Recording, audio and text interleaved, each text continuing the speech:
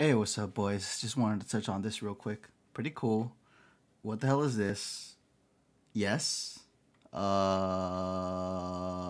Anyways, really cool. Uh, you know, training here before we take on Stuttgart. But this is what I wanted to touch on, boys and girls. Let me read this to you from uh, Ay Mia Adidas will remove the Adidas lettering from their logo starting from the 2022 World Cup and the following football kits from Footy Headlines. So basically,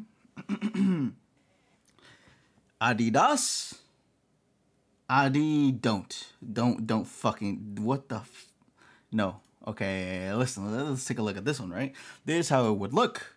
There's a mock-up. Minimalistic, not so good on the football kits. Look, listen. Maybe, all right. Maybe this looks good on like the joggers the uh, the sweaters, the shoes, even the socks, you know, all that stuff, possibly, but not on the jerseys. I mean, seriously, look, watch this. Yes, this looks perfect. This looks like a knockoff. You know what I mean? It's uh, watch. Adidas, you should not fucking do this. Take it to the bank. And if you don't, we'll get prepared to lose bank. All right, boys, that is all. Thank you.